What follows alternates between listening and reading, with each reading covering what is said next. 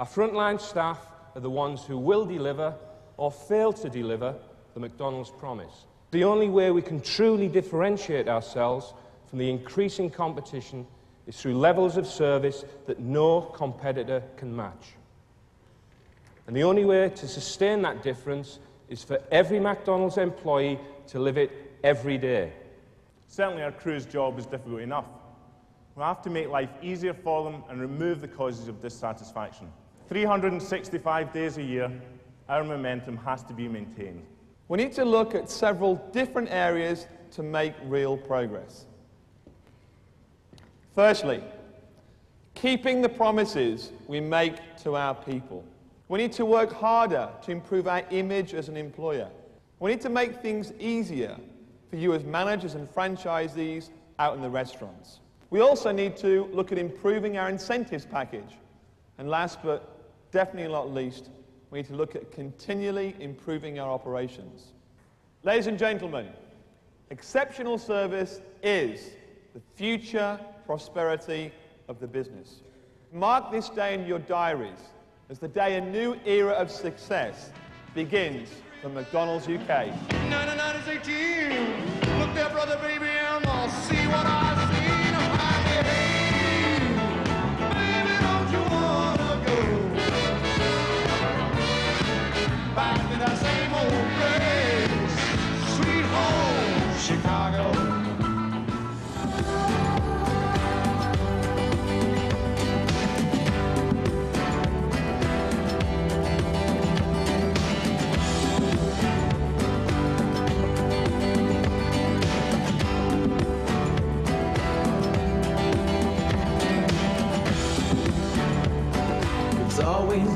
It's always night.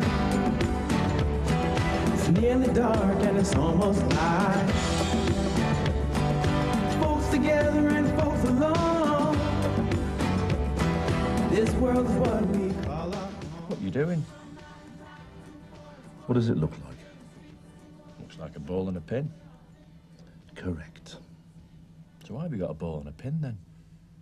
Isn't it obvious? No. What's it for? Why do you think I'd be sitting here pushing pins into a rubber ball? Is it like one of them voodoo dolls? What? You know, if there's someone you don't like, you, you make a doll, or in this case, a head, and you stick pins in, and where you stick the pins in hurts the corresponding part of their body. What are you on about? This ball is a representation of the world. I'm going to stick a pin into this ball for every McDonald's restaurant we've ever opened and I've got 25,000 pins. If it were a voodoo doll, then you'd be feeling a stinging pain every time I stuck a pin in. Ow! That hurt. Don't be so stupid. For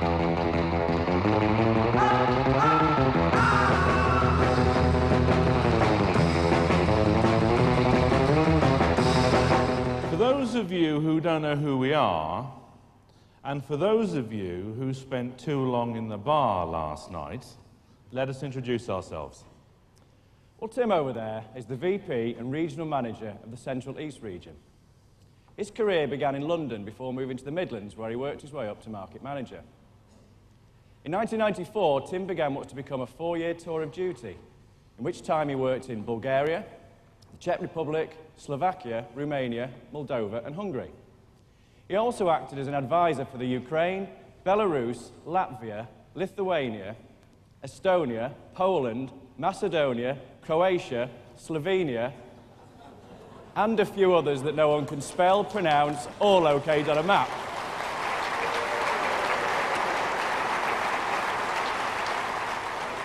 Dave here, he's a northern lad.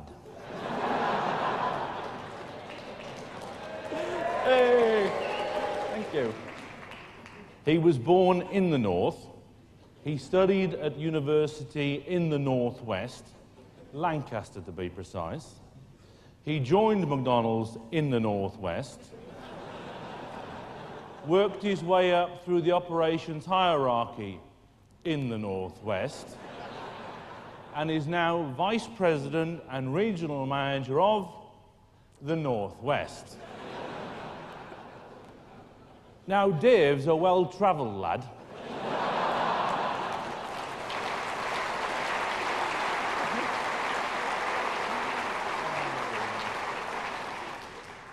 he thinks that a meeting in East Finchley is an international assignment. Obviously, eminently well qualified for this presentation.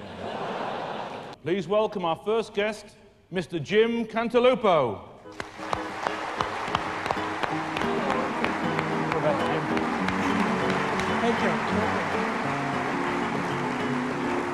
Great people make the difference for McDonald's.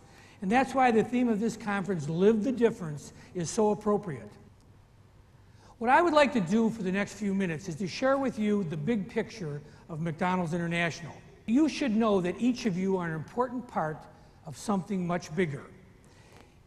And the progress McDonald's is making around the world as a company and as a brand is something you can truly be proud of.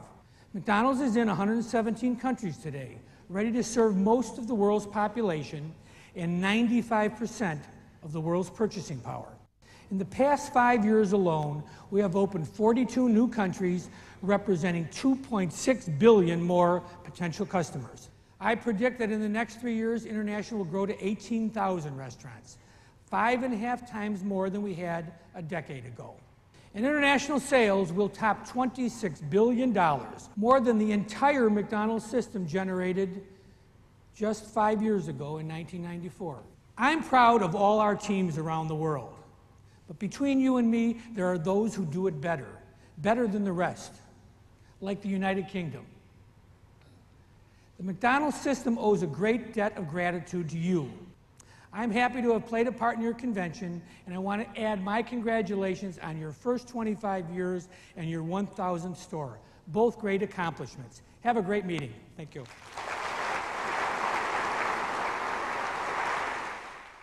Europe has had an important role in fueling McDonald's global growth for many years. Our first European countries, the Netherlands and Germany, joined the McDonald's family in 1971, quickly followed by Sweden and, of course, the United Kingdom.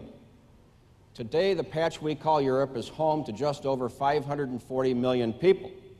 And if you add Russia, that population swells to 690 million. By the end of this year, McDonald's Europe will generate $10.5 billion in sales and $1.4 billion in operating income.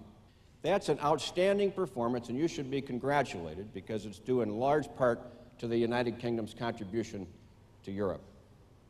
We have the potential to truly make every meal a happy meal, and I believe that ought to be our goal throughout Europe and the UK for the new millennium. We have the ability, you have the ability, you've proved it, to deliver on this expectations.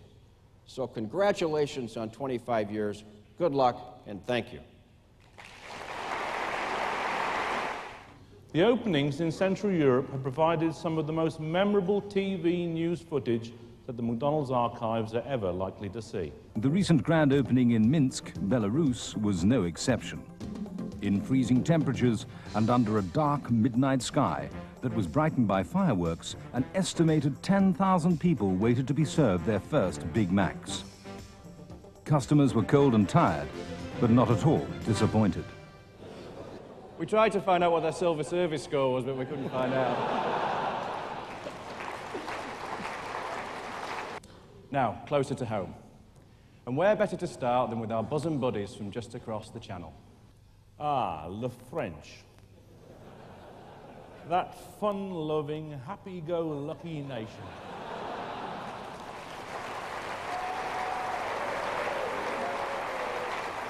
Denis Hennequin, president of McDonald's France, has done a superb job in making the BK position untenable in France, hence their recent closure. And here's Monsieur Hennequin right now with some of his other European chums. Happy birthday, UK, and happy 25th anniversary. But most of all, I want to say thank you. Thank you for those 25 years of hard work establishing the highest standard for McDonald's brand in Europe. Your success story is for sure a benchmark for all of the European countries and for France.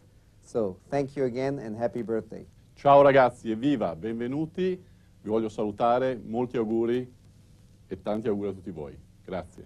Helan går, sjung hopp fadrallan lej. Helan går, sjung hopp fadrallan lej. Och den som inte helan tar han heller inte halvan får. Helan går! Sjung hopp fadrallan lej. Skål!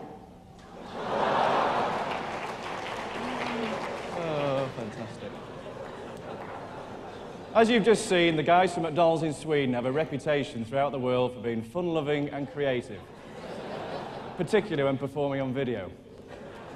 They, they also... Come on, girls, you can do it. Do the doggy paddle. Just like Daddy taught you. We'll take you someplace special. We'll take you to McDonald's.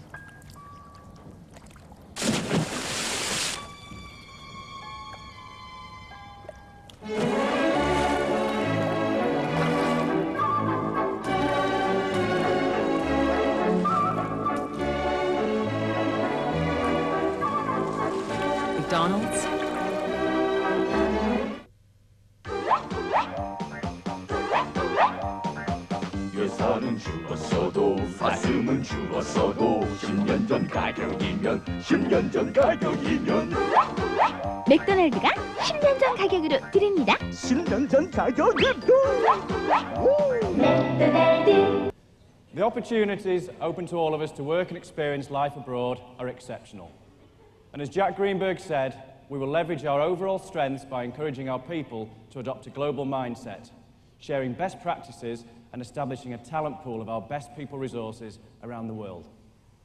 Thank you. Thank you.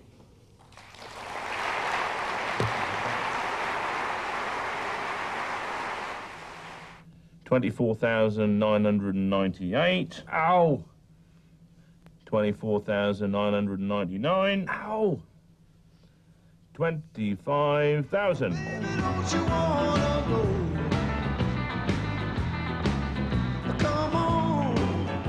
To be or not to be, that is the question. Whether 'tis noble in the mind to suffer the slings and arrows of outrageous fortune, or to take arms against a sea of troubles and by opposing end them, to die, to sleep. Aye, there's the rub, for in that sleep of death what dreams may come. When we have shuffled off this mortal coil, must give us pause. Thank you very much.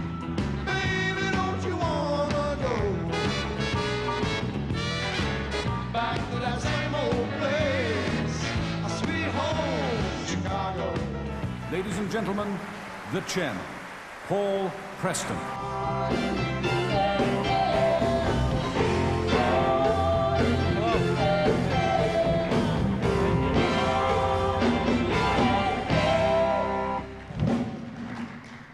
Well, here we are. If not quite my hometown, then certainly my home base. For the last 25 years, Britain's been my home. It's funny. People in the UK tell me I haven't lost my accent. But here they say what a refined English brogue I've acquired. and so it was in October 1974 we opened for business. I remember trying to have a conversation with someone that first evening after a very hectic day. The someone in question was a local policeman in Woolwich. He strode into the restaurant and immediately assumed a critical air. Very nice, he said. Very clean, very smart, very colorful. Well, thank you, I replied. Mmm, was his uh, response. But for how long, young man? I give it six months. Six months for what? I asked. Six months before this place is just as grubby as the other transport coughs round here. I remember thinking, what on earth is a transport cough?